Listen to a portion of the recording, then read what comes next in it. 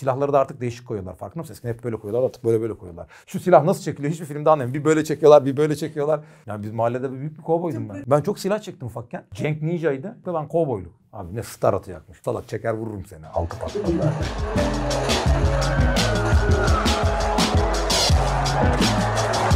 Evet şimdi size Quentin Tarantino'nun iki filminden bahsedeceğim. The Hateful Eight, öteki de Django Unchained. İki filmi de muhtemelen izlemişsinizdir. Aslında benim için burada önemli olan Vahşi Batı. Ben çünkü avid bir ferocious, bir türlü Türkçesini bulamadım. Bir e, western izleyicisiyim. Western, korsanlık böyle şeyler çok hoşuma gidiyor. Mafya filmleri falan hepsini ayrı ayrı ele alacağız. Aslında tarih filmler tarih anlatmak için yazılmaz ama Quentin Tarantino farklı o tarih filmleri tarihte bir şey anlatmak için kullanıyor. Kendi çünkü çok otör biri ya böyle stüdyo filmi gibi değil. Burada onun tercihleri aslında tarih görüşünü de ortaya koyuyor. Bazen fantazilerini ortaya koyuyor. Inglourious Bastard'da ve şeyde olduğu gibi a- yani böyle bilse daha iyi olurdu gibi. Ve onun keskin tercihleri bize politik duruşunu da gösteriyor. Zaten çok eleştiri de olmuştu belli şeylerde. Bugün yeni bir western. Çünkü western aslında yok. Cowboy diye bir şey yok biliyorsunuz değil mi? Burada ilk olarak Quentin Tarantino'nun yeni bir western akım içinde olduğunu söylüyorum. Bu da artık yeni bir western'den bahsediyor. Eskisi gibi değil yani. Eski western filmlerinde büyük bir kopuş var. Bu aslında Unforgiven'la başlamıştı. Unforgiven'ın son sahnesini hatırlayın. Mesela çatışma sahnesinde. iki kişi 4-5 kişiye karşı falan ve çok zor geçiyor. Yani bir kişinin 20 kişi öldürdüğü filmlerden falan değil. Soprano'nun babanın tam tersi olması gibi. Baba da her şey çok organizeydi. Muhteşemdi. Soprano'da bunlar artık ayakçı gibiydi ya. Çöp şeyleri falan yapıyor. Hakikaten Napoli'de de bak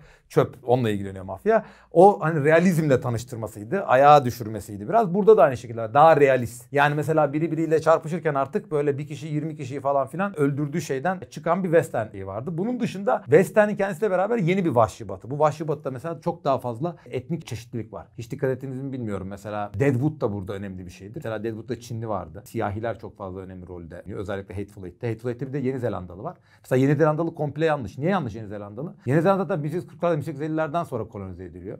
Hateful Eight de 1860'ların sonu 70'lerin başı gibi olması lazım. O dönemde Yeni Zelanda'ya daha o kadar Avrupalı gitmemiş. Ya ne ara gittin de bir Yeni Zelanda aksanı oluşturdun. Montana'ya geri geldin be kardeşim. Hiç işin gücün yok da. Bir de at arabacısısın sen yani. At arabası süren kadın.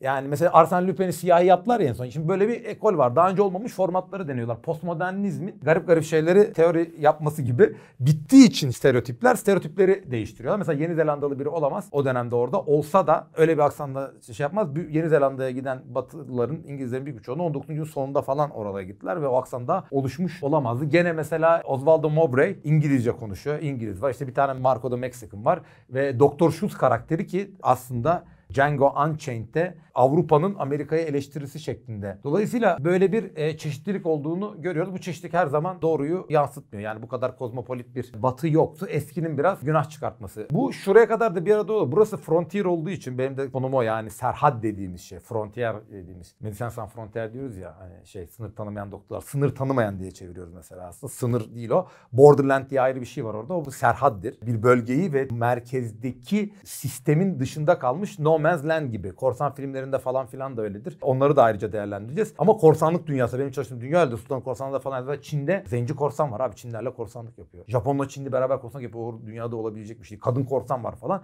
Yani İstanbul'da, Beijing'de, işte Nanjang'da bilmem ne de Nanjang neresi acaba? Çin'de. Onları hiç okuyamıyorum. Nanjang'da olmayan şeyler olabiliyor. Bu açıdan doğru ama böyle bir çeşitlilik bu kadar yoğun bir çeşitlilik değil daha çok. Mesela siyahiler Union ordusuna yani Kuzey ordularında savaştı ama hiçbir zaman öyle officer, subay olmadılar. O yüzden mesela Hatefield'deki Major Marcus Warren fictional bir karakter. Öyle biri olmaz. Hatta büyük bir tartışma mesela Güney'de de savaştırmaya. Böyle bir efsane de var. Güney'de siyahi asker var mı diye. Çünkü ne biliyorsunuz kölelik kaldırılmasın diye şey yapıyor. Acaba siyahi asker kullanılan mı? böyle bir efsane var. Hatta bir tane meşhur fotoğraf vardır. O fotoğraf mesela aslında başka bir dönemde çekilmiş. Öyle piyasaya yayılmış. İnternette büyük tartışması vardı. Böyle bir şey yok. Sadece 7 tane e, görgü tanığı bulmuşlar. Ama her seferinde aslında arka planda siyahiler. Yani orduda değil işte ahçı maşçı. Bunların hepsi efsanevi şeyler. Sadece bak çok enteresan bir şey var. Bu e, mecliste tartışılıyor. E, Güney'in meclisinde. Siyahileri kullanalım mı diyor savaş kaybetmeye gelince. Orada büyük tantana yapıyorlar. Niye kullanmak istemiyorlar? Biri çok mantıklı bir şey söylemiş. E bunları kullanırsak bizim bütün rasyonel çöküyor. Çünkü kölelik nedir? Siyahilerin beyazlardan daha aşağı olduğu ve onların her işi yapamayacağını anlatan bir şey. Şimdi sen onu asker yaparsan bütün mantık çöküyor. Ona rağmen yapmışlar ama savaş bitmeden 3 hafta önce. Bu da bize neyi gösteriyor Gökhan'cığım? İşte zor oyunu bozar. Yumurta kapıya dayanınca, belli uzuvlar sıkışınca mecburen ne yapıyorsun? Adamlar siyahileri bile almışlar ama savaş hemen bitiyor. Zaten ondan sonra yenirler. E, Güneyde hiç siyahi asker de yok. Kuzeyde bir siyahi officer da olmaz. Gene o dünyanın bounty hunter dediğimiz kelle avcısı siyahi olması imkansız. Deadwood o anlamda daha yakında onu göstermeye mesela. Dizisinden bahsediyorum. Dolayısıyla Dolayısıyla kuzeyde savaşan zenciler olsa da ilk siyahi subay Henry Ossian Flipper. Bir de enteresan bir şey. Bunun ne olduğunu bilmiyorum. Siyahilerin isimleri bazen çok değişik olabiliyor. Bunun İngiliz örneği Dwyer'dadır. İşte Diante falan gibi bazen Latince ismi. Bu da Ossian Flipper değişik bir isim. Onların bir alt kültürü var. Bununla ilgili çalışma var mı bilmiyorum ama çok değişik isimler koyuyorlar. Bu da aslında bir protesto yöntemi olarak falan tartışıyorlar bunu. Yani onların konuştukları dilin farklı olması, şey olması falan filan. Daha o dönemden başlamış demek ki. Enteresan bir isim. Bir Fenerbahçe maçında Julio Cesar, Washington, Marcus Aurelius hepsi imparatorlar geçidi gibiydi. Bir de Kennedy. Aynı maçta. Dört maçta 2000 ya nasıl bir ekip. Ama hiçbir de beyaz değil yani aslında baktığın zaman kültürüne kadar geçişti. Tabi bu arada çok güzel bir şey de var. Alexander Dumas'dan muhteşem yakalamış. Alexander Dumas bildiğiniz siyahiydi. Bunu ben de Sarkozy özür dilene kadar bilmiyordum. Bilmiyordum yani Alexander Dumas ya oldu. Film onu çok güzel veriyor. Orada işte Güneyli'nin yani Parveni sonradan görmüş. Cahil bir Güneyli'nin Fransızca konuşulmuş gibi yapıyor. Kendi Monsieur Candy'dir ya Fransızca bilmiyor. Dumas'ı çok seviyor ama siyah ha diyeceksin ki sen kendin bilmiyorsun Allah'ın Mississippi'sinde Alabama'sında Cotton Plantation sahibi Calvin Candy mi şey yapacak? Evet ayrı konu. Siyahiler öyle birini kafasına göre vuracak. Bir generali işte kışkırtıp çekip vuracak. General Smithers'ı vuracak. Ondan sonra işte kafasını alacak falan filan. Öyle bir şey mümkün değil. Yani onu şerif dinlemez. Mesela aynı şey Django'da da var. Doktor Seuss birini vuruyor sonra federalleri çağırıyor. Çok legalist. Öyle bir şey olmaz yani. Seni orada çeker vururlar abi. Öyle işte birini vurup sonra fış fış fış birayı. Mesela biranın üstüne temizledikleri şey var ya o da o dönem yoktu bu arada neyse. Bira içip ondan sonra federal gelip ya aslında bu da bu muymuş da wanted kağıdındaki adam bu değil mi? Lan olmasa ne yapacaksın? Meşhur sahne öldürüyor adamı. Ondan sonra işte millet geliyor bunu bir dakika diyor ellerim şeyine çıkıyor. Diyor ben bunu öldürdüm ama bu adam aslında bir suçlu. Aa şerifiniz suçlu falan. Tabii şerifiniz 2 yıl önce göreve başlamadı mı? Yo 20 yıldır burada dese ne yapacaksın abi? Kaldım böyle Doktor Schultz. Lan düzgün İngilizce konuşamıyorsun. Bu olmaz yani. Siyahi bir bounty hunter Hateful Eight'teki gibi söz konusu değil. Bu da ve zaten o mesela Chris Mannix'te Justified'dan da bildiğimiz Chris Mannix'te konuşmalarındaki laflar da mesela bazen çok tarihi olarak doğru. Ama bu zencilerin söylenmesi kendilerine nigger denmesinden hoşlanmıyor falan. Onlar biraz bu döneme yansıyan şeyler. O dönem zencilerin durumu o kadar iddialı, o kadar özgüvenli bir değildi ama zaten biraz Quentin Tarantino filmlerinde epik şeyler de yapıyor. Mesela son filmi Once Upon a Time Hollywood'da da filmin sonu tarihten başka yere. Ya da Nazileri patlatıyordu değil mi? Inglourious Basterds'da. Dolayısıyla böyle şeyler yapabiliyor. Öyle bakmak lazım. Yani oradaki siyahi portreleri gerçekçi portreler aslında değil bir mesaj vermek için. Mesela bir yerde at sürüyor ve şaşırıyorlar değil mi? Şimdi ata binmek eski toplumlarda bir statü belirtisi. Dolayısıyla mesela ata binmesinler diye yasalar falan yapılır. Mesela Yahudiler ata binmesin. Avrupa'da da vardır, Osmanlı'da da vardır. Ata hakim millet biner. Ama Vahşi Batı'da siyahilerin ata bindiğini, köle olarak da ata bindiğini biliyoruz. Hatta ilk bu Kentucky derbisinde falan siyahi jokeyler var. Siyahilere köle oldukları dönemde bile at bindikleri. Hatta Washington'ın bir tane meşhur kölesi var. O, onun hep yanında atın üstünde. Orada bir de çok güzel bir şey vermiş. Bakın bu Amerika'da çok şey vardır. Benim sen de bilirsin. Mağlubiyeti kabul etmeyen Güneyli diye birinin cahil olduğunu göstermek için falan evinin ön tarafına konfederasyon bayrağı asılır. Hala öyle bir ekol vardır. Buna da mesela The War of Northern Aggression denir. Kuzey agresyonu, kuzey saldırısı, kuzey işte taşkınlığı savaşı gibi söyleyeyim. Hala kabul etmeyen orada o şeyi görüyorsun. Diyor ki you read too much newspaper printed in Washington DC diyor. Yani Washington DC'dekini okuyorsun. Aslında biz haklıydık. Cause diyor mesela. İşte davamız. Aslında Güney için The Lost Cause da onun adı. Ve savaş bittikten uzun süre sonra da Güney'de siyahilere haklarını kullanmalarını bloke etmeye çalıştılar. Bu yasalara da Jim Crow yasaları diyoruz. Aynı yer 1960'lara kadar çözülmedi. Yani savaşta olay bitmedi. O Güneylerin psikolojisini bütün filmlerde görebiliriz. Hateful Eight'te Chris Mannings'de Marcus'in arasındaki konuşmalarda da bunu görmek mümkündü. Birbirlerine söyledikleri şeylerde kullandıkları laflar. Hala haklı bir çerçeve. Yani mağlubiyeti kabul etmedi. We weren't barbarians pounding on the city walls. We were your brothers. Yani bu bir kardeş savaşıydı. Bize dignity in defeat vermediniz. Yenilgide onurlu bir şekilde bize davranmadığınız hissiyatı olduğu için 1860'lardan sonra özellikle güneyde şaşıracaksınız demokratlar. O zamanlar demokratlar daha geri kafalıydı. 1920'ye kadar da hep öyle kalacak. Demokratlar, cumhuriyetçiler ters gibiydi bugün. Mesela film onu çok güzel vermiş o zihniyeti, güney zihniyeti. Chris Mannix muhteşem bir karakter tarihi olarak. Hakikaten dönemi anlatıyor. O dönem irli savaş suçlarını falan Mannix's Marauders işte yağmacıları falan filan anlatıyor. Bu arada tabii Justified'i izlemedilerse mutlaka izlesinler. Muhteşem bir diziydi o.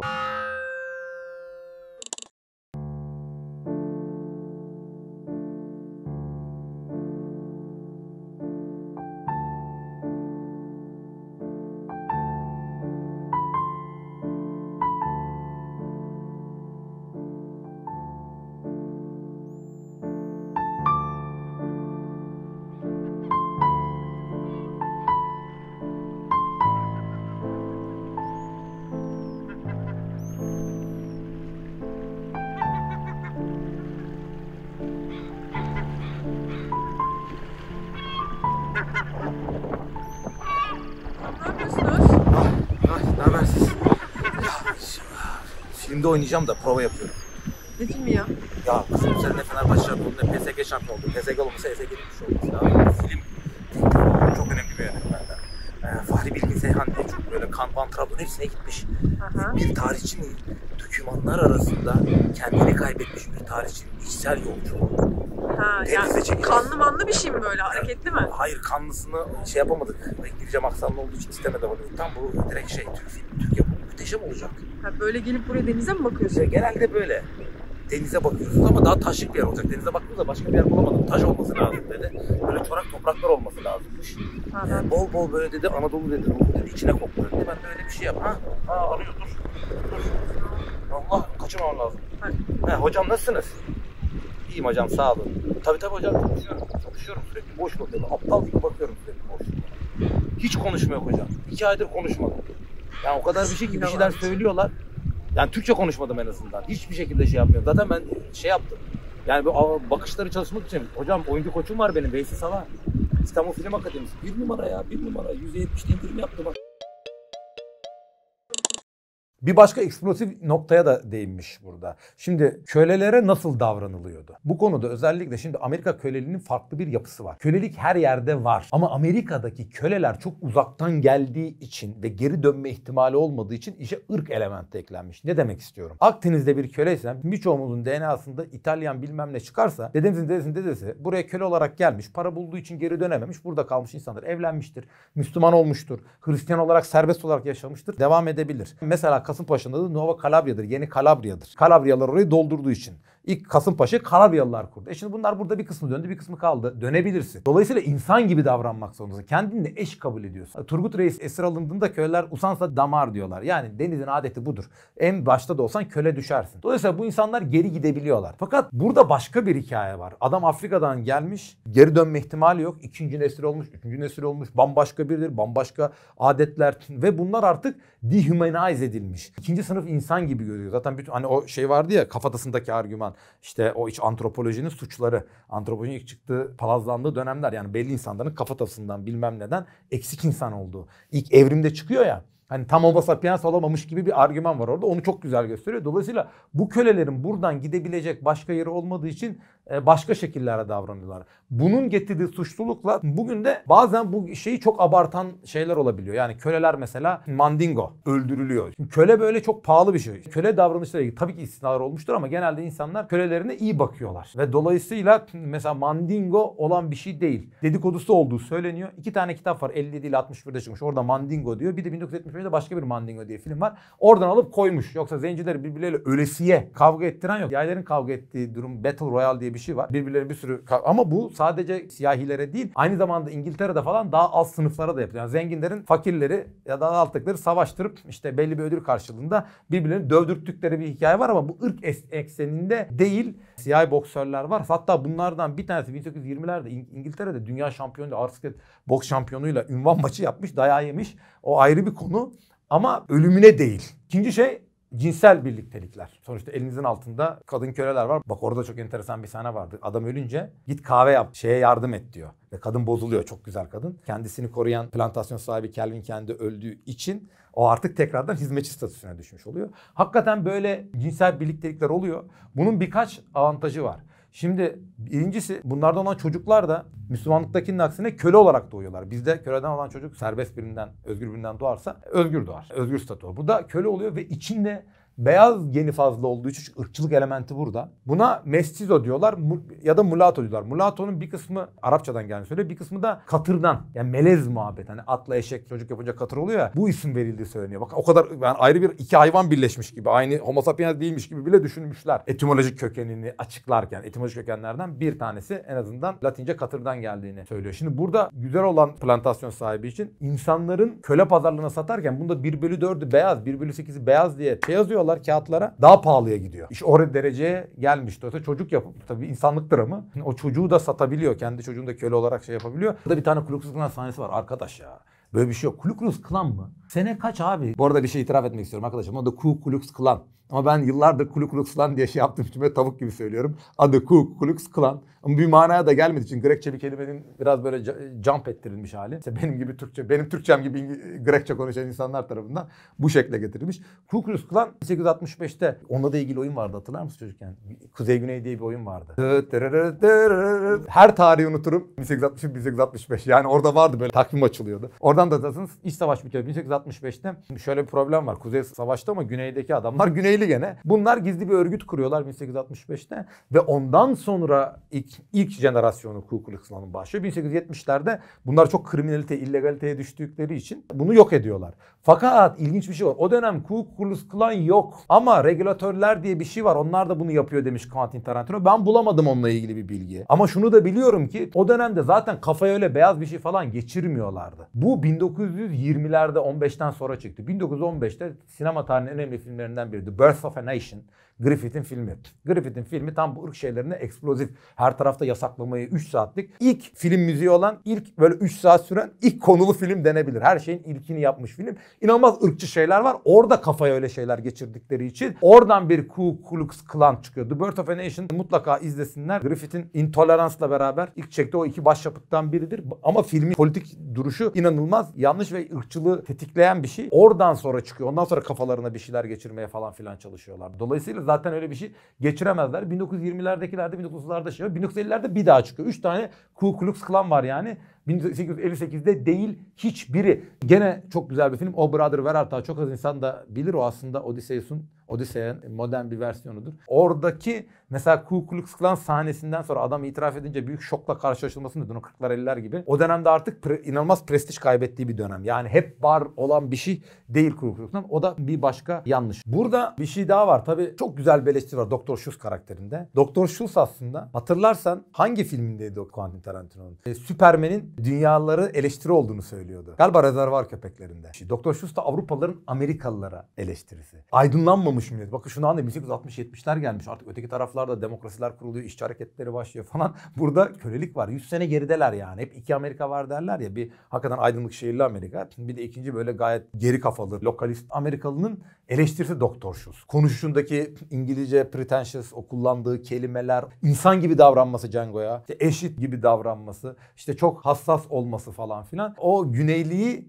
Avrupa'nın gözünden göstermek için konuşuyor. Yani çok güzel bir şey. Amerika'nın o dönem ne kadar geride. Çünkü İngilizler falan anlayamıyor. 19. yüzyılın başında halletti onlar bu işi. Orada bir liberal düşünce oturmuş. Amerika'da bu savaşla halledilmek zorunda kaldı. Ve bize şeyi gösteriyor. Tarihte hiçbir zaman öyle clear cut şeyler yoktu. Çok özgürlükçü bir gözüken bir ülkede mesela idam olabilir Amerika gibi. Ve Amerika'da bu çeşitlilik çok. Amerika var, Amerika var. Her Amerika aynı şey değil. New York, Los Angeles gibi olmuyor. O zaman Los Angeles yok da. Hani şehirli ya da kuzeyli gibi güneydeki o şeyi görüyorsunuz. The Help diye de bir film vardı. Onu da önereyim mesela. Alabama'da o kadınlar ha, muhteşem bir filmdi. Çocuklarını büyüten kadınların yanındaki siyah bakıcıları konu alıyor falan filan. İçinde siyah bakıcı var ve ben izliyorum. Güzel film oldu. Hayatta izlemem.